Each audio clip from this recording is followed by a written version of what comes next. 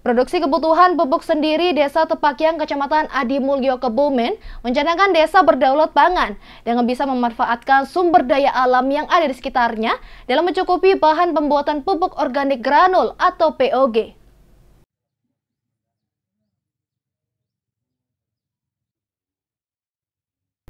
Canangkan menjadi desa berdaulat pangan Seiring langkahnya pupuk bersubsidi pemerintah Desa Tepakyang, Kecamatan Adimulyo, Kabupaten Kebumen, mendorong warga petaninya untuk membuat pupuk organik sendiri dengan mengandalkan sumber daya alam sekitarnya.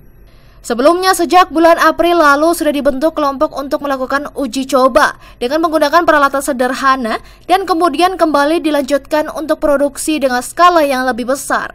Produk organik granul atau POG tersebut juga sudah diaplikasikan ke berbagai tanaman dan hasilnya cukup baik. Sudio selaku ketua tim produksi POG menjelaskan untuk bahan baku pembuatan POG didapatkan di lingkungan desa sekitar di antaranya kotoran sapi, pelepah pisang, jerami, dolomit, kokopit, arang sekam, tanah merah, serta pupuk organik cair atau POC buatan sendiri. Menurutnya dalam sehari bersama 11 anggotanya mampu memproduksi 10 meter kubik bahan untuk pupuk yang difermentasikan selama 21 hari. Setelah itu baru bisa diolah menjadi pupuk granul. Oh dari awal yang pertama itu yang bahan dasarnya oh, khususnya itu telepong sapi. Terus di campurannya itu gedebok pisang dicacah lah.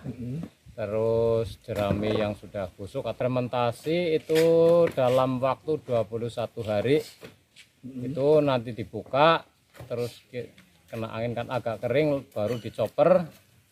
Setelah dicoper itu istilahnya kan tujuannya biar teraduk merata gitu kan kalau habis itu nanti baru proses pakai mesin untuk bikin uh, pupuk granul lah bisa bikin bulat-bulat lah.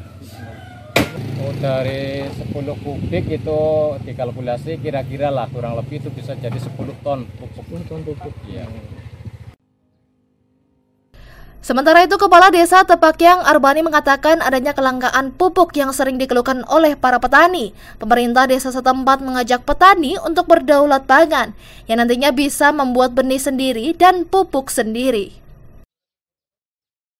Dan awal mula kita bikin pupuk organik itu, yang pertama itu warga masyarakat kami itu agak susah cari pupuk baik itu yang subsidi maupun yang bukan subsidi. Jadi kami timbul pemikiran untuk bagaimana caranya kita bisa bikin pupuk sendiri.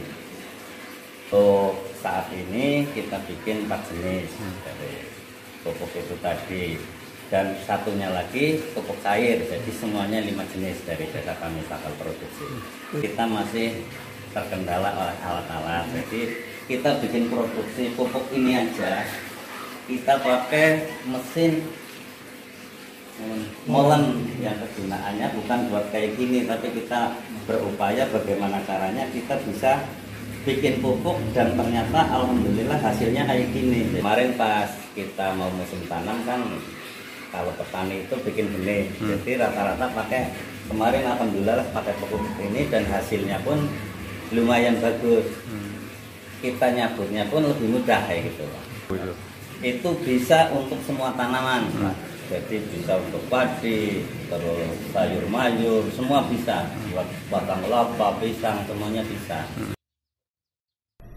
Meski demikian, dirinya berharap cita-cita desa Tepakyang untuk bisa berdaulat pangan segera tercapai dan hasil produksi pupuk saat ini bisa digunakan untuk musim tanam yang akan datang. Dari Kebumen, Paryanto Bonyumas TV melaporkan.